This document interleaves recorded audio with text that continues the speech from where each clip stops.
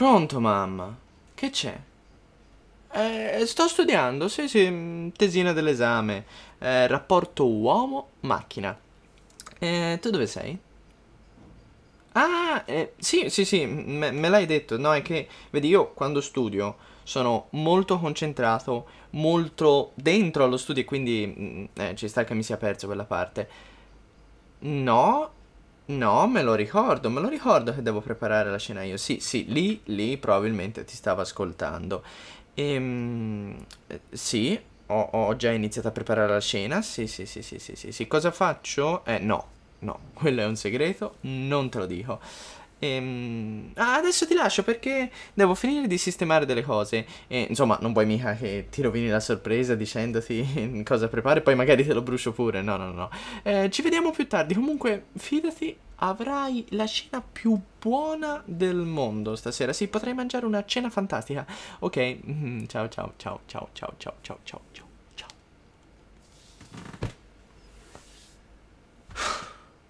Merda.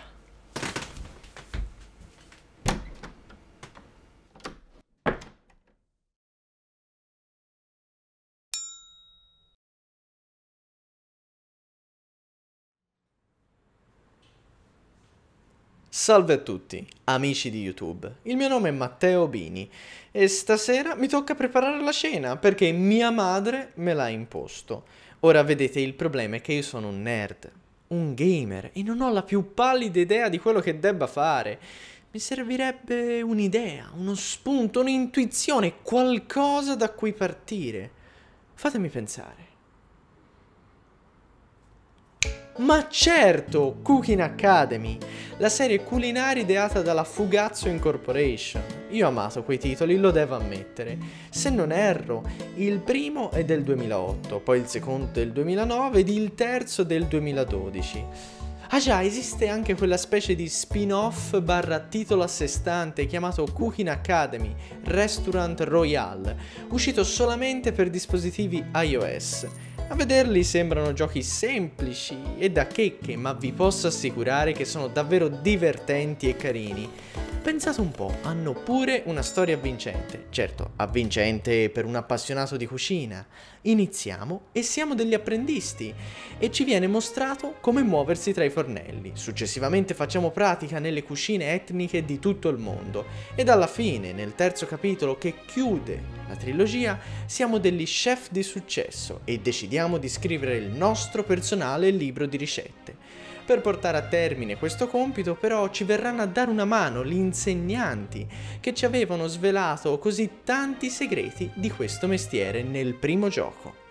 Inoltre, per chi non parla inglese, come il nostro caro amico padano Ciro93, che saluto, Cooking Academy è un'esperienza propedeutica all'apprendimento della lingua anglosassone. Infatti, dopo pochi minuti di gioco vi verrà spontaneo imparare a memoria i nomi degli ingredienti ed in men che non si dica riuscirete a fare battute a sfondo sessuale sul cetriolo anche in inglese. Tra parentesi, cetriolo in inglese si dice cucumber ed è quello fresco, mentre quello sottaceto è pickle. Assistente è col suo cetriolo.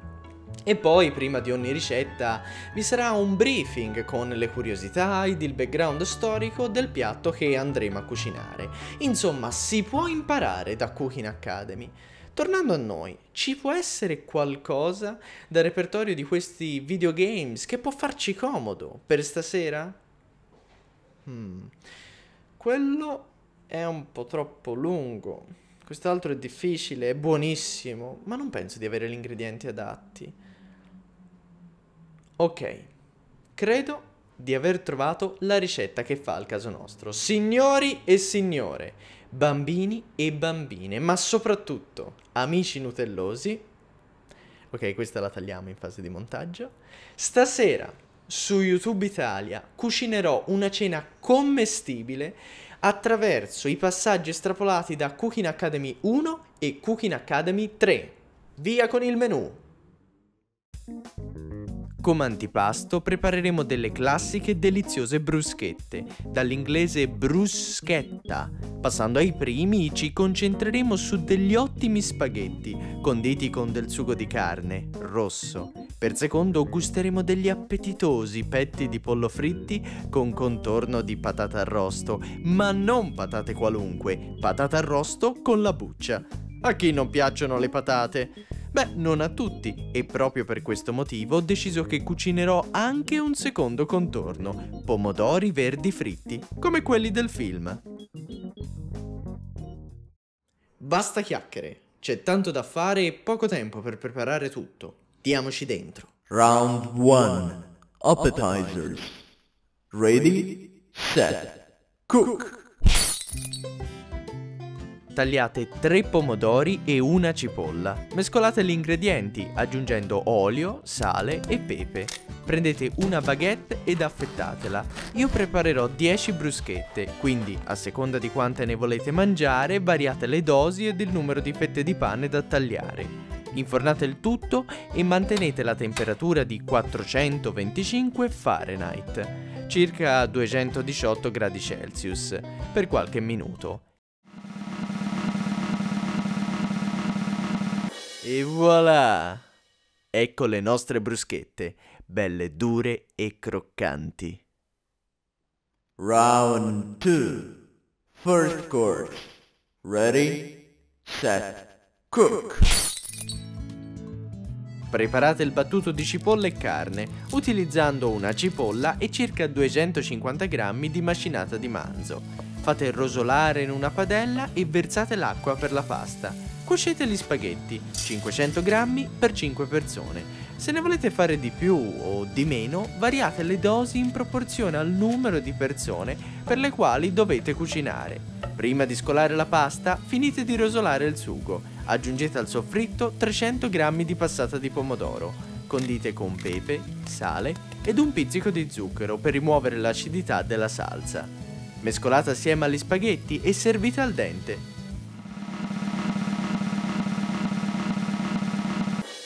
Mi raccomando, non mi piacciono gli spaghetti mosci. Round 3 Second course. Ready, set, cook. Rompete due uova e sbattetele. Grattugiate del pane secco oppure, se siete pigri come me, comprate del pan grattato dal supermarket più vicino.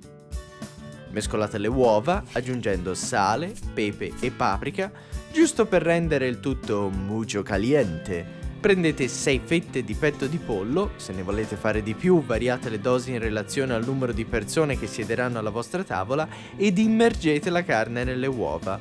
Girate le fette di carne nel pan grattato e friggetele nell'olio bollente. Quando l'impanatura dei petti di pollo sarà dorata, spegnete il fuoco.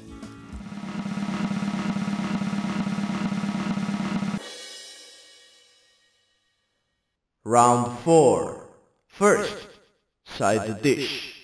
Ready, set, cook. Tagliate 15 patate a fette molto grandi. Prima dividetele a metà e dopo tagliate in due parti le metà precedentemente divise. Continuate a dividere le metà finché non sarete soddisfatti delle dimensioni della vostra patata affettata. Non posso darvi un'indicazione più precisa da seguire, poiché questo passaggio dipende esclusivamente dalle dimensioni originali dei tuberi che avete selezionato. Io ho deciso di cucinare 3 patate a testa. Voi variate pure le dosi a vostro piacimento, a patto però di mantenere le giuste proporzioni tra gli ingredienti. Condite con sale, pepe, origano, paprika ed olio infornate a 425 gradi Fahrenheit, circa 218 gradi Celsius, ed aspettate che il vostro primo contorno si abbrustolisca a dovere.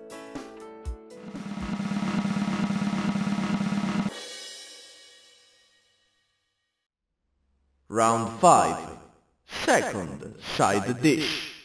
Ready, set, cook. Tagliate a fette 3 pomodori, uno a testa. Preparate un impasto con della farina di grano duro, della farina di mais ed ovviamente del pan grattato. Lo stesso che poco fa abbiamo comperato in quel supermarket vicino casa. Condite con sale e pepe. Rompete altre due uova e sbattetele. Immergete nel miscuglio giallastro i pomodori verdi. Volendo potremmo riutilizzare le uova di prima, ma sarebbe meglio evitare, al fine di non mescolare sapori differenti e di mantenere l'identità culinaria del contorno in questione. Dopodiché friggete, friggete e friggete ancora, fino a che l'impanatura non sarà appetitosamente sexy.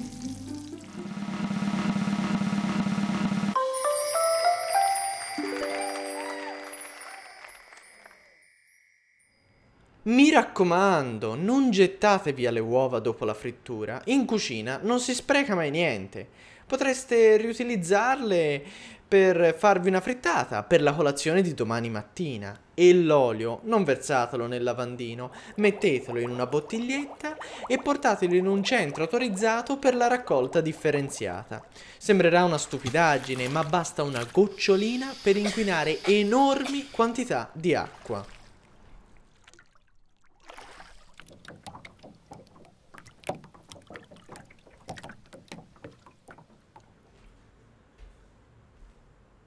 Oh, finalmente la cena è pronta. Speriamo soltanto che piaccia e che non provochi nessuna intossicazione alimentare. Sento rumore, ragazzi, penso sia mia madre. Grazie per l'aiuto che non mi avete dato. Ciao, ciao, ciao, ciao. Oh, ciao mamma!